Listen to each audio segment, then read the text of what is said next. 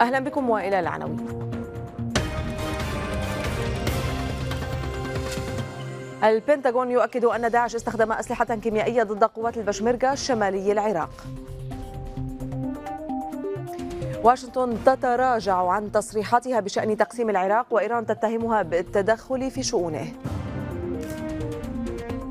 استكمال الاستعدادات لإحياء الذكرى التاسعة لانتصار المقاومة على إسرائيل في وادي الحجير جنوب لبنان.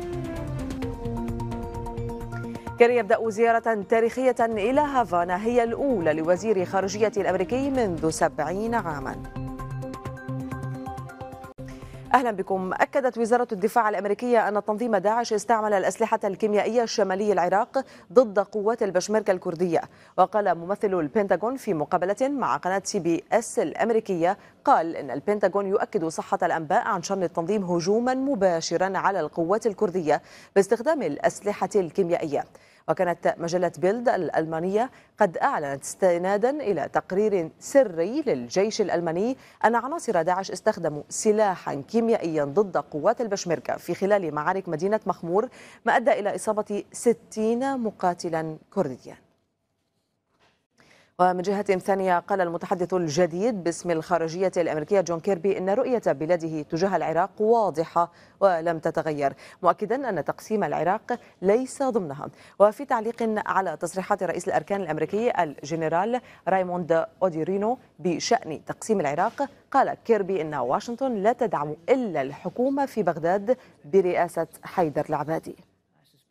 ومن جهته قال الرئيس العراقي فؤاد معصوم إن مسألة تقسيم العراق غير ممكنة.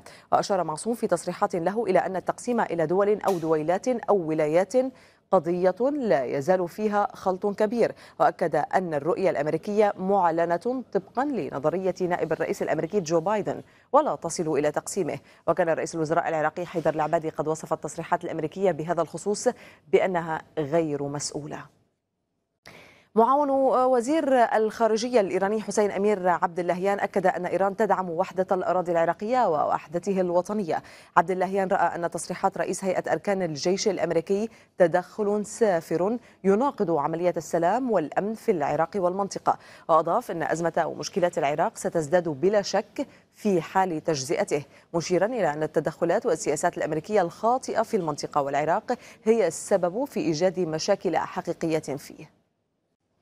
الحديث عن تقسيم العراق يعيد إلى الأذهان خطة بايدن لتقسيم العراق إلى ثلاثة أقليم. كيف يتعارض هذا التقسيم مع الواقع الديمغرافي الحالي للعراق مع أحمد عبد الله أهلا بكم. فكرة تقسيم العراق التي طرحها رئيس هيئة الأركان المشتركة في الجيش الأمريكي الجنرال رايموند أوديرنو ليست جديدة. فالعمل على تقسيم العراق وفق الحسابات الأمريكية بدأ عام 2006 وفق خطة طرحها العضو في مجلس الشيوخ آنذاك جوزيف بايدن وتقضي بتقسيم العراق إلى ثلاثة أقاليم سنية وشيعية وكردية مع الإبقاء على العاصمة بغداد. يستأثر الإقليم السني المفترض بحسب الخطبة أو ما يعرف بطرح بايدن بالمساحة الجغرافية الكبرى فهو يشمل محافظات نينوى والأنبار وصلاح الدين وديالى والجزء الجنوبي والغربي العربي من كركوك أي ما يمكن تقديره بتسعة وأربعين بالمئة من مساحة العراق. يقابل هذا الإقليم السني إقليم شيعي مفترض يشمل محافظات بابل والنجف وكربلاء وذي قار والقادسية والبصرة وواسط وميسان والمثنى وهي تمثل نحو 30% من مساحة العراق الإجمالية. يضاف إلى هذين الإقليمين إقليم كردستان الذي يمتد على مساحة ما يقارب العشرين في المئة. لكن طرح بايدن الذي يقوم على أساس طائفي يتجاهل التوزيع الديمغرافي الحالي في العراق ويتناسى مكونات كثيرة أخرى في المجتمع العراقي كالمسيحية والصابئة والأيزيدية والقومية التركمانية.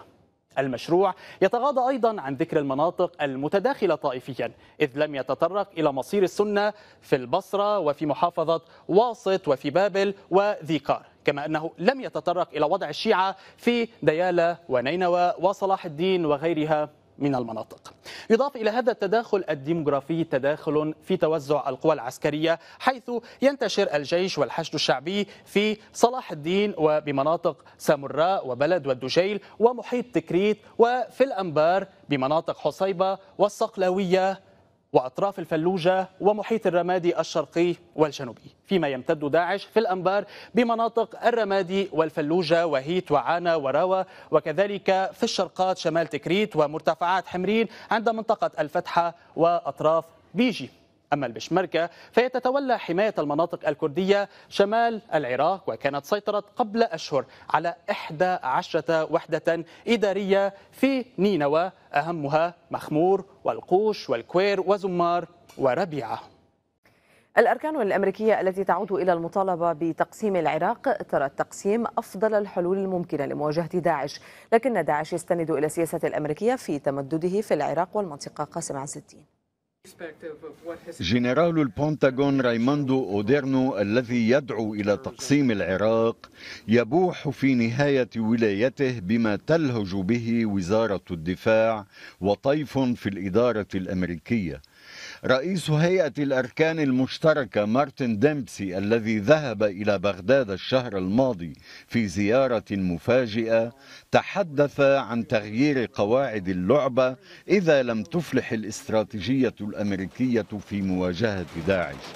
قبله أوضح جو بايدن ما بدأه الحاكم الأمريكي بول برايمر في تفتيت العراق إلى أقاليم شيعية وسنية وكردية ولم ينقصها سوى إعلانها دولا على غرار التقسيم الأمريكي في يوغوسلافيا وأوروبا الشرقية.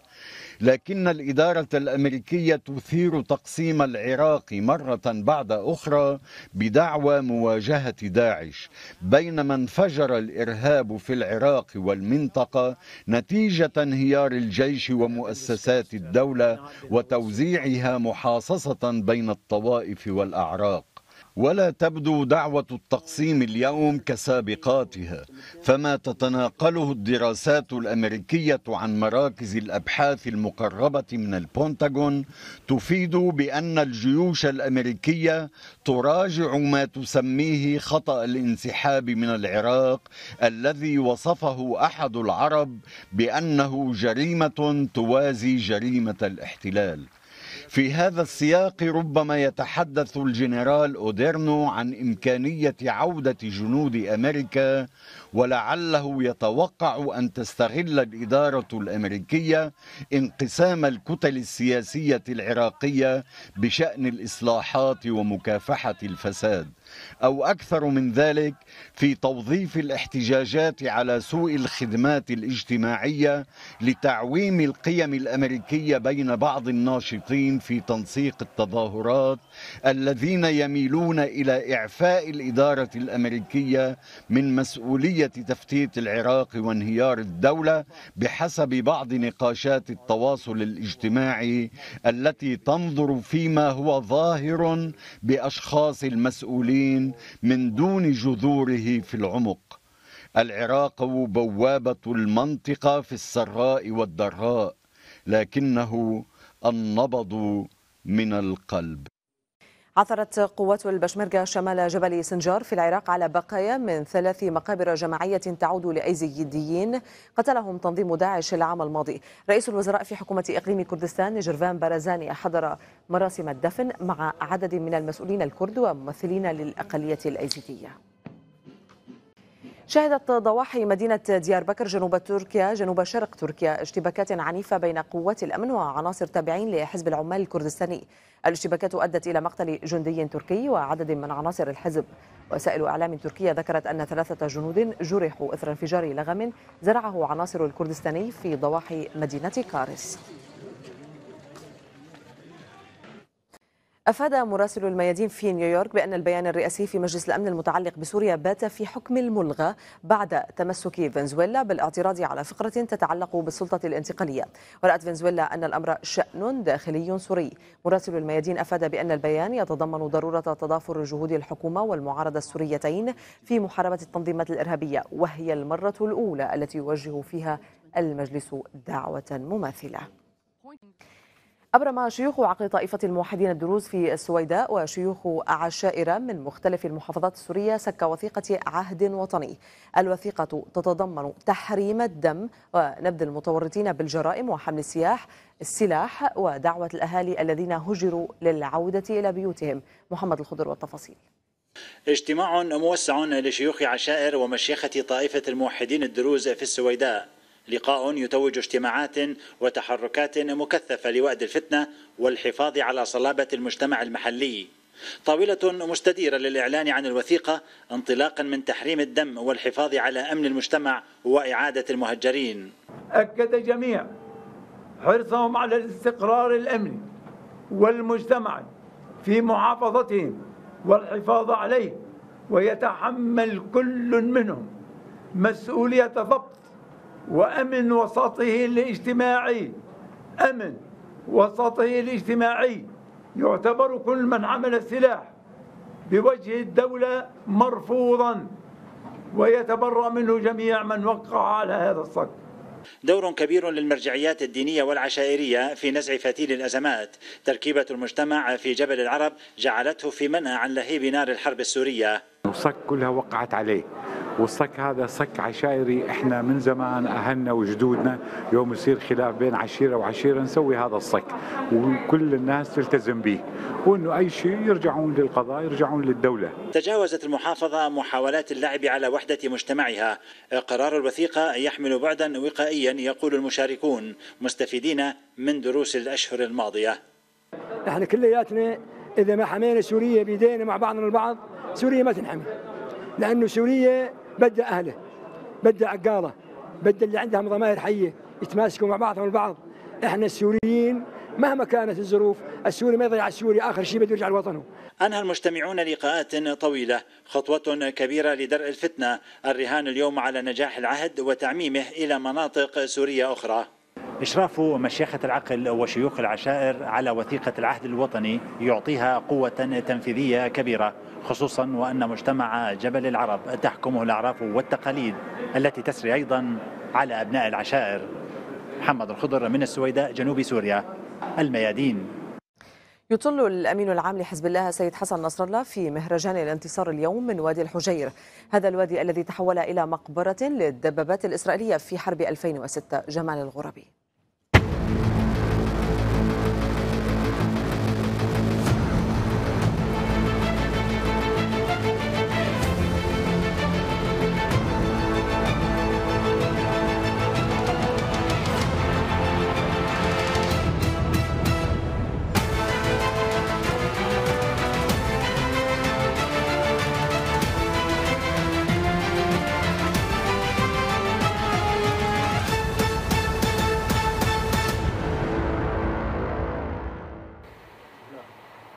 هنا وادي الحجير.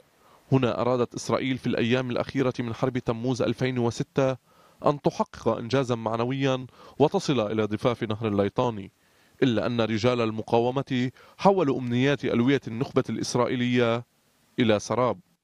هنا أضحى الوادي مقبرة لعشرات دبابات الميركافا وهنا نداءات الاستغاثة لجنود الجيش الإسرائيلي طغت على أصوات صواريخ المقاومة. ولوادي الحجير رمزية في إحياء ذكرى الانتصار. كان القرار لأن وادي الحجير دخل بعنوانه العريض في حرب تموز 2006 حيث كسرت إرادة العدو الإسرائيلي ودمرت دباباته بفعل ضربات المقاومة وتحطمت أهدافه فاضطر إلى التقهقر والتراجع وإعلان عجزه.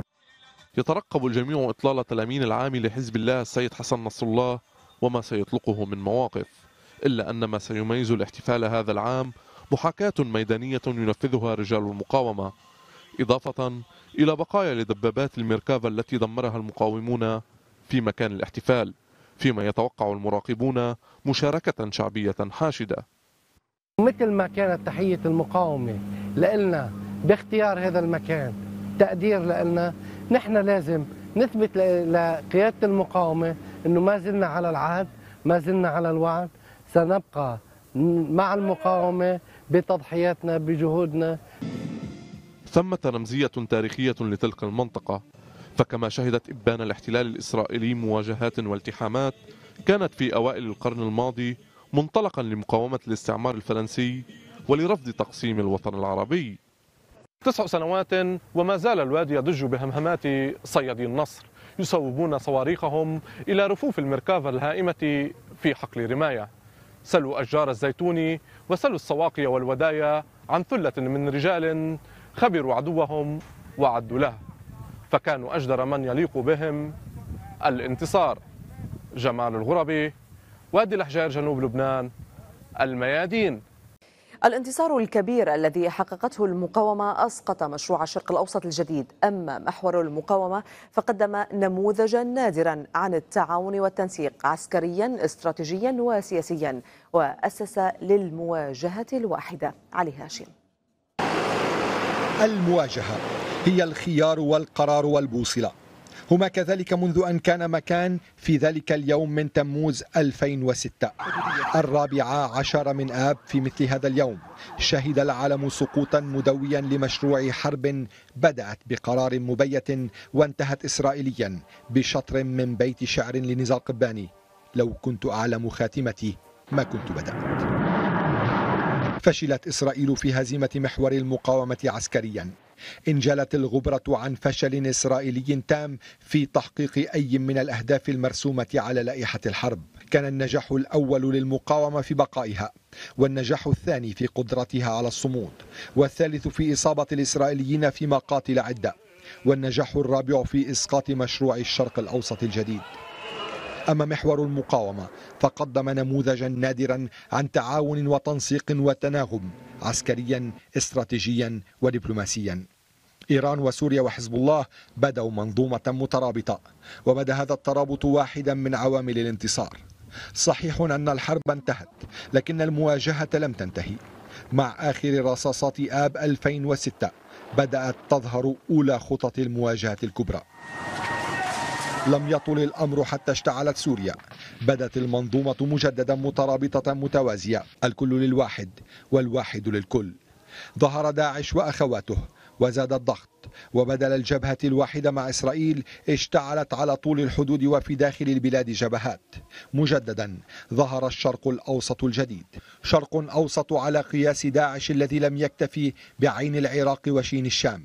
فامتد إلى الخليج واليمن ومصر وليبيا وتونس. تحولت المواجهة من خيار كفائي إلى قرار حتمي.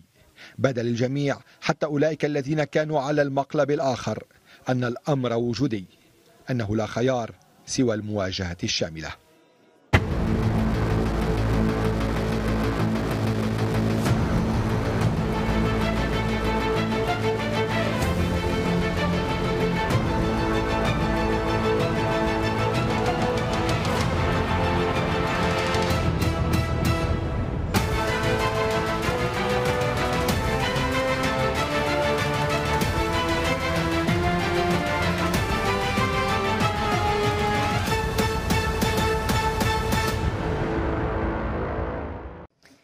زيارة تاريخية يقوم بها وزير الخارجية الأمريكي جون كيري اليوم إلى العاصمة الكوبية هافانا وسيترأس كيري مراسم لرفع العلم الأمريكي على السفارة الأمريكية التي أقيمت فيها مراسم استعدادية للحفل.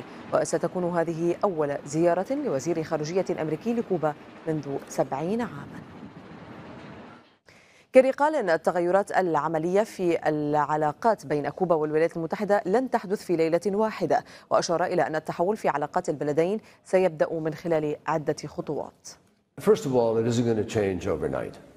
أولا وقبل أي شيء إنها لن تغير شيئا بين عشية وضحاها. أعتقد أنه علينا أن نبدأ عملية مقارنة لأربعة وخمسين عاما مضت بما سوف يتحقق. سنبدأ في رؤية التحول. المزيد من الناس سيسافرون. سيصبح هناك المزيد من الصرف. وعائلات كثيرة ستستعيد التواصل. نأمل من حكومة كوبا أن تأخذ قرارات من شأنها أن تبدأ في تغيير الأمور. احتفل الزعيم الكوبي فيديل كاسترو بعيد ميلاده التاسع والثمانين مع الرئيسين الفنزويلي نيكولاس مادورو والبوليفي إيفو موراليس اللذين أجريا زيارة مفاجئة إلى هافانا. كاسترو احتفل في وقت سابق بعيد ميلاده عبر كتابة عمود في صحيفة محلية. انتقد فيها الولايات المتحدة وحملها مسؤولية تعطيل الاقتصاد العالمي لمصلحتها.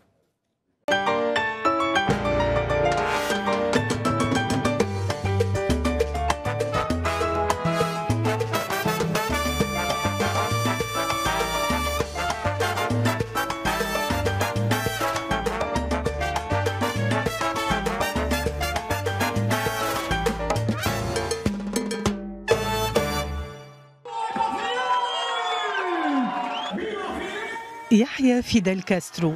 هتافا سياسيا يبدو وأغنية حب يكون. أغنية ضمن مهرجان تكريمي. كل أضوائه سلطت على كاسترو.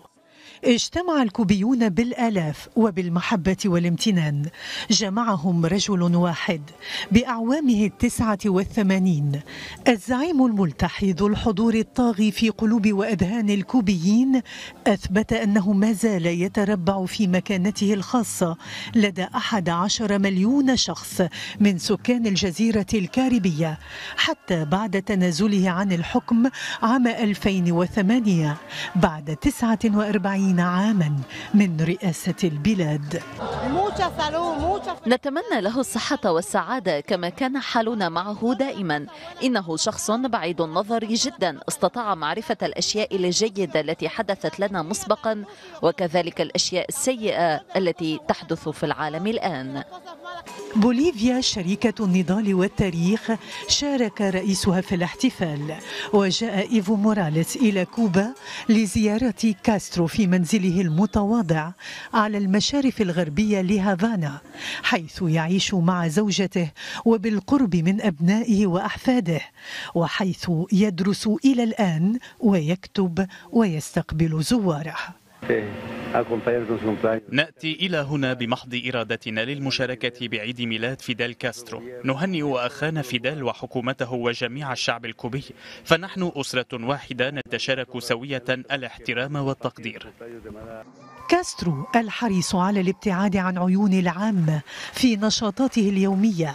ظل قريبا من قلوبهم بتاريخه الشهير كأكثر الشخصيات ثورية في أمريكا اللاتينية.